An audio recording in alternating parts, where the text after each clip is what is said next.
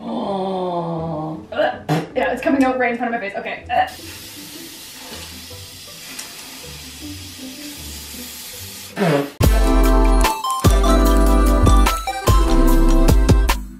Whoa, a bitch is blind!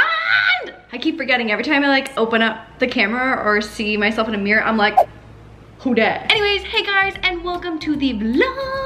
So normally I know we usually do like a whole weekly thing, but I'm not gonna lie, this past weekend, I haven't been feeling too great. Essentially, I've been having digestion problems, so I'm now kind of on this like loose diet. I don't wanna say that I'm on a diet. Basically, I'm taking out a few things from my diet to try and figure out what's making my stomach hurt so bad and what's making me bloated. I just like didn't realize that every meal's not supposed to make your stomach hurt. I don't know how I went 26 years uh, not knowing this, but apparently that's not a normal thing. Anyways, I have a pair of Vans that are like half taped up right now in my size that were left over from a past DIY that you guys will see soon on IGTV. But I figured since I still had all the materials and a blank canvas of Vans, I would try to do another hydro dip video because now I've hydro dipped officially twice. This will be my third time. I think now at this point in my hydro dipping career, I'm ready for the big leagues essentially. But I figured that I would answer some questions, do a little Q&A while I finish taping these up, and then we can go round three hydro dipping some Vans because the ones that I made with a fan for this IGTV video that's coming up turned out so freaking good. And honestly, I left that video pretty jealous. So I'm gonna make myself my own pair because we were making a pair for her and she obviously got to keep them. Anyways, I asked you guys to ask me some questions on Twitter and Insta stories, so I'm gonna be just chatting with you guys while I finish taping these up. Okay, so the first question, and I got a lot of these questions, have you decided if you're adopting one of Joey's puppies yet?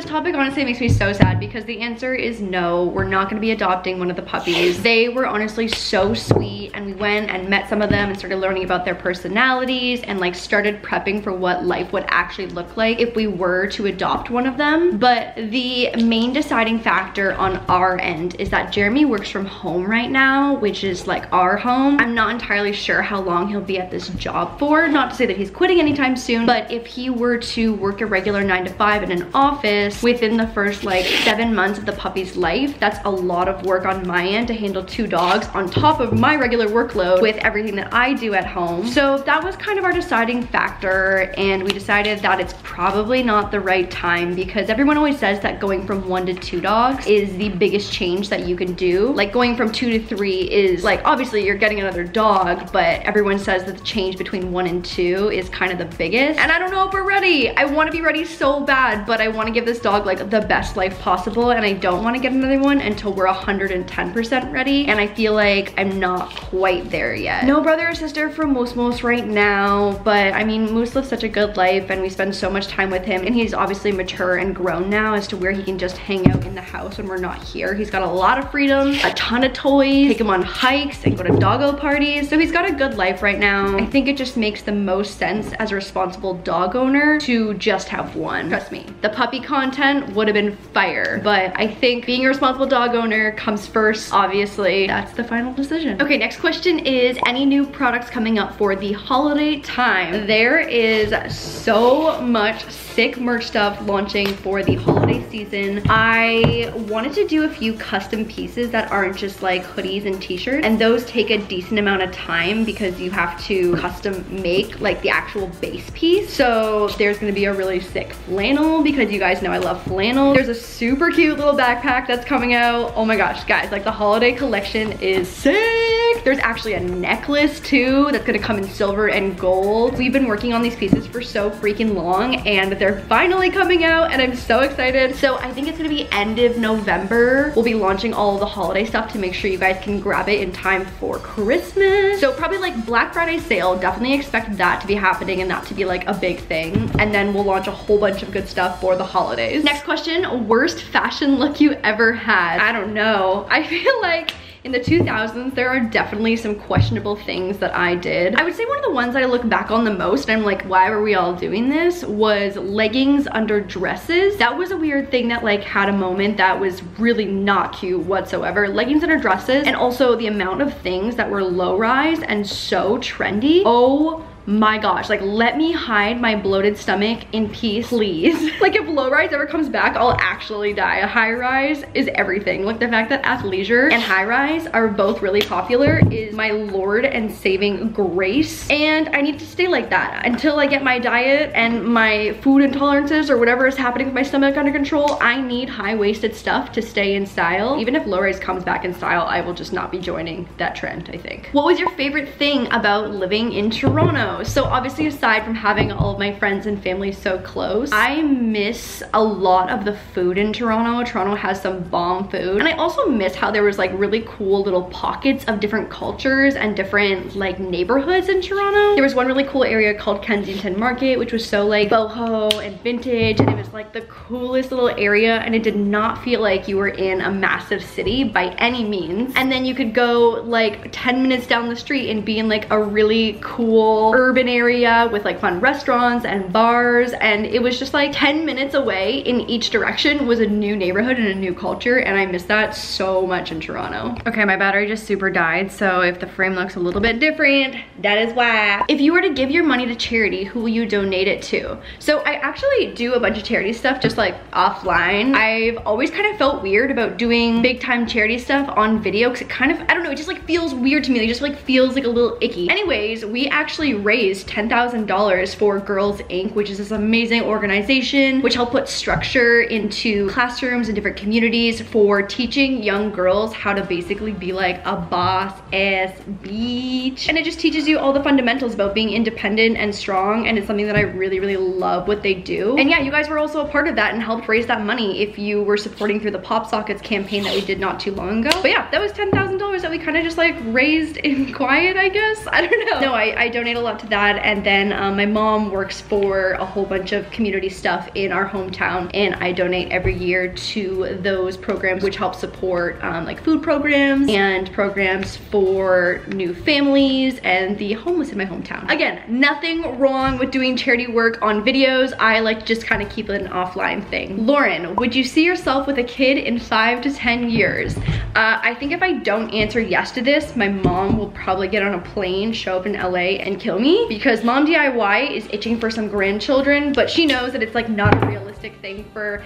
minimum five years. So, I mean, but yeah, honestly, probably like four years minimum, probably five, maybe six. I don't know, I don't know. Oh my God, I can already see the angry text that I'm going to receive from my mom when she sees this segment of the vlog. Hey ma'am. Oh, I need to put the shoe down for this question. Miss your old DIY videos. What happened to the quality? Nose blow emoji.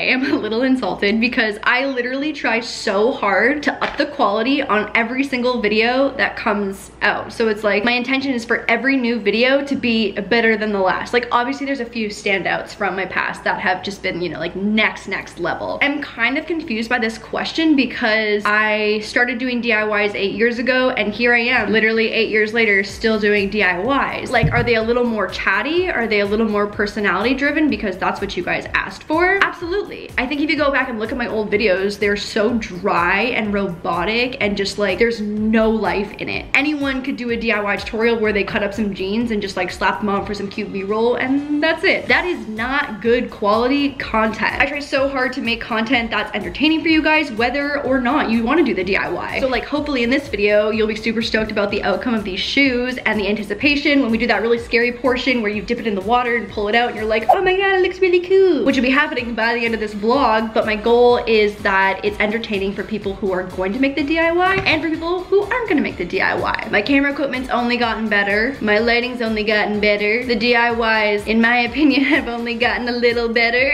so uh, that's my response to that, I guess. We got one shoe completely done. Honestly, it looks kind of cool the way it is because the duct tape that I use, but it's about to be even cooler. And I think I've got two more questions left and I've got like a couple more things to tape out on the little swooshy on the van sense? Next question, how does your boyfriend help you cope with anxiety? And to what extent do you think significant others should support people with mental health? This is such a good question and I feel like it's so interesting. For me personally, and I just wanna start by saying that I think this is something that is so particular and individual to you and your relationship with your significant other. Personally, if I'm having an anxiety attack, I feel the best and feel safest when my significant other knows what to do and what things are gonna help calm me down. I think the first step to being super comfortable with talking about your mental health with your significant other is just helping them understand what your triggers are, things that they can do, things that you need to do if you need to, you know, suddenly leave a room with no explanation, why that might happen sometime, and just how your body reacts and what they can do to help and be the biggest support that they can be. There's nothing worse than feeling alone during an anxiety attack, and I think it's really important that your significant other understands understands that or understands that you maybe do need to be alone and that's what you need to feel better. But personally, if I'm having an anxiety attack, Jeremy knows exactly what to do, what I need, what I need from him. And I think just having someone on your team while you're going through that can just A, mean the world to you and B, help you, you know, ground yourself and not come back down to earth, but, you know, come out of the anxiety attack or however you're feeling. And last question, how has it been living with Jeremy? You guys look so happy. Honestly, I love it how you're glowing. Ooh Ooh thank you. It's that Manny MUA highlighter girl. And also just like being really happy. And no, yeah, it's been going super, super good. I've never lived with a significant other before. So this is a first for me as well. And I feel like we just like gradually stayed together more and more. So there wasn't like a big specific day where we were like, oh my gosh, okay, like this is it. We just ended up staying together for like a couple months consecutively. And we're like, okay, yeah, this probably makes sense to just like do this permanently. So yeah, it's been going so, so, so good. I think living with someone is a massive step. It really helps you to learn if you're compatible on the next level with your significant other. Okay, so I am going to wrap up the Q&A section, finish up this last little swoosh, and then we are ready to hydro dip. I'm so excited. I'm gonna do blues and aquas, so see you in a sec. Okay, because I'm an irresponsible crafter and it's 95 degrees outside, we're doing this inside. So I'm gonna try and like contain the fumes. I've never done this before. I don't know if it's gonna work or not. And then I'll air. But I just feel like last time, the heat of it being outside outside made my layer of spray paint dry so quickly. And we about that. I think I did too much spray paint last time and it was too hot. This works. This is gonna change my life. Oh. Yeah, it's coming out right in front of my face. Okay.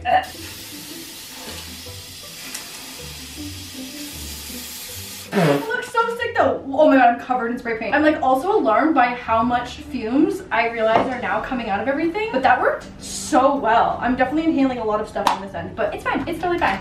Ugh, I just saw it. Okay. Wow, this looks so good though. One, two.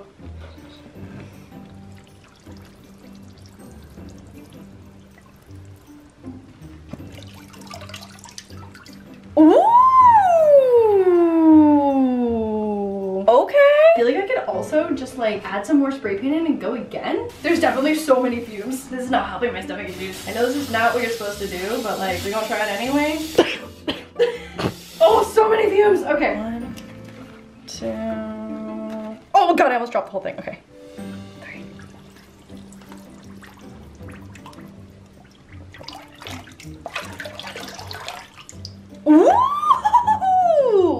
Gosh, that looks good. Okay, we need to vacate this room immediately and go breathe some real air. Okay.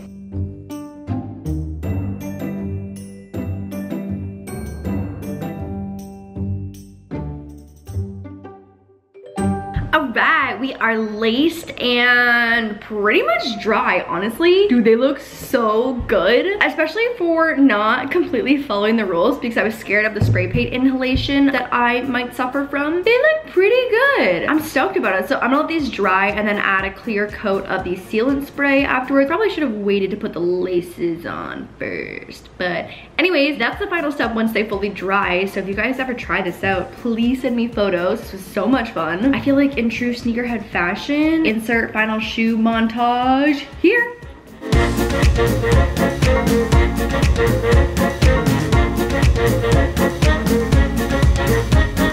So I hope you guys enjoyed this vlog. This is more of like a super chill DIY, I feel like. Just me and the cam for the most part. Hopefully we'll be back to regular vlogging next week. Dude, like I am so sick of feeling sick. So please let me know if you've tried the low FODMAP diet because I'm about to go ham with it because I'm so annoyed with my body right now. This like hasn't been a problem my entire life so like, I don't really know what's going on and what's changed. But yay, growing up. Oh my gosh, okay, so for the last video of Halloween, I attempted a spooky makeup look based on a look that one of your faves have done on another one of your faves, my faves as well. But that is the last video of the Halloween series, so that's coming on Sunday, so get excited for that. Anyways, that's it for this video. I will see you guys on Sunday for a Sunday wine again I on Wednesday for another weekly vlog. Okay, bye guys, love you.